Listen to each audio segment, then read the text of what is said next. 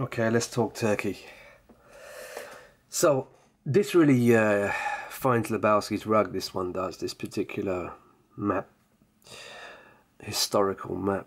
It, it really ties the room together because um, we're led to believe that the people who describe themselves as Jewish and Zionist Jewish uh, today, who sit on Palestine, calling it Israel, um, that they are the Khazars, originally from Turkey.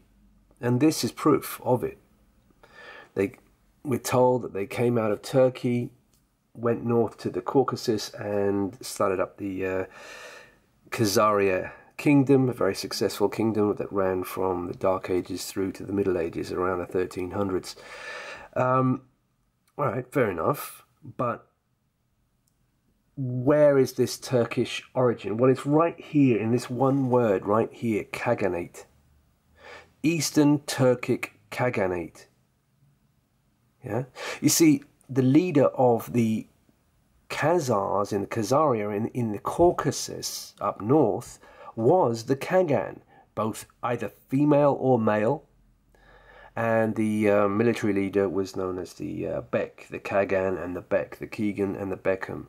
And that, oh yeah, they are of, of Khazar blood, both of them. You know, you, you, you've only got to look at um, Keegan's uh, frizzy hair.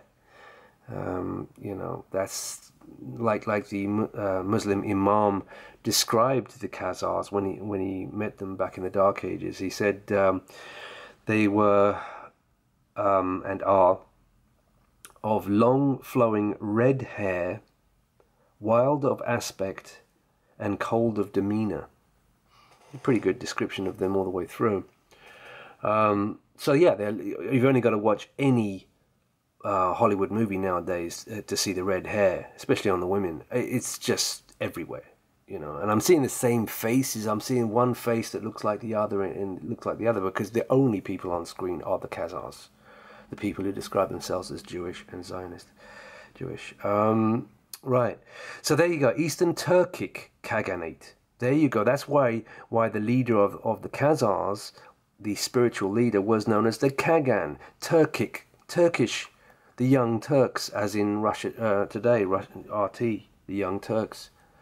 And um, Bob Dylan talking about his Turkish origins with his long frizzy red hair. All right, so that's that's a slammer right there. That that really does find, Lebowski's rug. Okay, let's go through a few of these. Uh, bum bum bum. Right now, the, the Neanderthal link. You have to go further back. Were they? Are they the Phoenicians? Well, the, the geography is kind of right, um, but it's a hard one to tell. It, it is said that the um, Phoenicians went to Turkey as well, so that that rings a bell, eh? All right, so yeah, possible. Um, but going back before that, you find out that um, you know European ne- Neanderthals had ginger hair, red hair, right? that totally fits.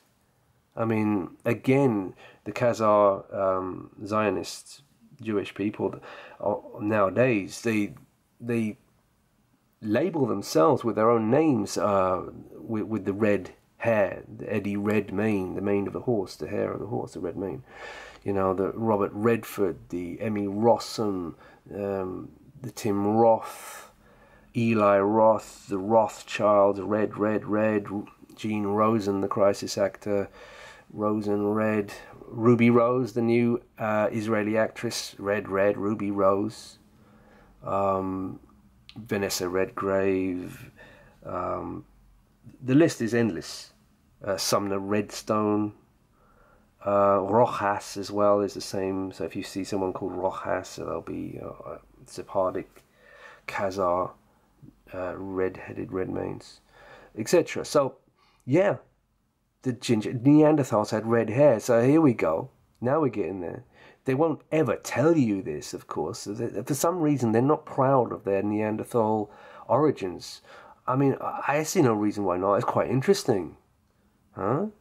It's not something that I wouldn't. Um, I'd be quite if I was sort of like a Neanderthal. Uh, you know, that's cool. Uh, to me, that's like, oh wow, makes me a bit different. Well, they this could be the re- main reason, huh? I mean, I'm not Neanderthal in any way. I'm not one of them. Um, but you know, they are. It does seem like it, doesn't it? And the name, how about that? And that's not the only Neanderthal name or, or Jewish name. Uh, there's ne, uh, Neanderthal as well. Yep. Neanderthal, Neanderthal, and Neanderthal. These are in the uh, the list of, of German Jewish surnames. There's there's a whole bunch of them um, that read like this. Neanderthal, huh? It's a big clue there, right, right there. Huh? And why do they portray themselves as Encino Man and Ben Stiller um, as as a caveman, looking exactly like Tom Cruise? And look at that, look at that there, right there. It's that nose at the top there that joins, and it's the same thing with that Donna. What's her name? Um, if I can find her. On, hold on, I'll find her. Yeesh. Uh, yeah, Donna Murphy, an- another woman. This one, that Jewish lady who um, uses a completely fake name, tries to hide her, you know, red main origins, her Jewish origins, Khazar origins, uh, under a Irish name because of the red hair. Murphy, Brody, Adrien Brody, Sean Penn, Rachel McAdams. These are all, I mean, come on, Rachel you only got to see the name Rachel. Red hair. And every single photo online of Donna Murphy is touched up. Makes her look good. But in the movie, Bourne Legacy, she looks weird. And I mean weird. I, I just trying to find good images. I, I, can't find a good image of her in the movie, but uh, boy, does she look weird. Um, the old look at that. I mean, it's Wow. Mm-hmm. Yeah. And um, Rebel Rhymes was talking about the um, Jezebel thing. And yeah, I mean, it's Phoenician. It's Baal. And if you know what Baal is, Baal is a, is a Hebrew word. And the other name for um, Baal in Hebrew is Beelzebub. El. Beelzebub, Baal. Hebrew, Phoenician, J spirit, Jewish spirit. You know, oh, they hide. They really hide their origins. Yeah, there's definitely a, a Phoenician link with them. Maybe they are the Phoenicians as well. And before that, of course, they are the Neanderthals. But they just won't tell you that. No way. I don't know why not. Just no problem. You know just to be a bit different. But this explains their separatist nature. If they are indeed a different bloodline, Neanderthal, more Neanderthal than you and me, then that would explain their separatist nature because they know that they are Neanderthals, Neanderthals, right? A land of palms. Phoenicia was a land of palms. Well, the, you back to the date palm, which is again is the space needle. Huge date palm. It's the sh- shape of the space needle in, in every way. Cybele. This is Phoenician, right? That's Cybele. That's meaty. The, the bubble bath. Oh, yeah. As Thortford Watch used to say. See? There's Cybele's crown. Always featured with that particular crown. Cybele is Venus. Is Statue of Liberty, Libertas. See, Cybele, Venus, you see that there? Venus and the key, the lions, and the Ferris wheel, and that crown again. Yeah, but that's Venus right there, you see. Again, uh, Rebel Rhymes uh, pointed me to that yesterday. So, who the hell is she? Good God, she's called herself Cybele. Sybil Danning. I was watching the old uh, movie um, Last Picture Show, 1971 movie with Sybil Dan- Danning and uh, Jeff Bridges and Randy Quaid. Um, you know, call, dial 666 for Cybele, why not? Yeah. But um, Sybil Danning, Cybele Danning, mm-hmm. It's a good movie, that one, the uh, Last Picture Show. They don't make them like they used to, huh?